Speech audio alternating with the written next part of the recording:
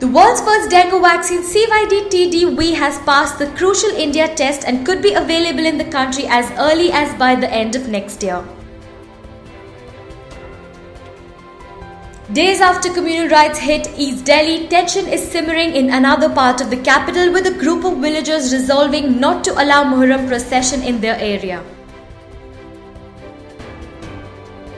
At least 55 people were killed and more than 150 injured in a lethal suicide attack on the Pakistan side of Wagah border, the only road crossing between Amritsar and Lahore, minutes after the flag lowering ceremony on Sunday evening.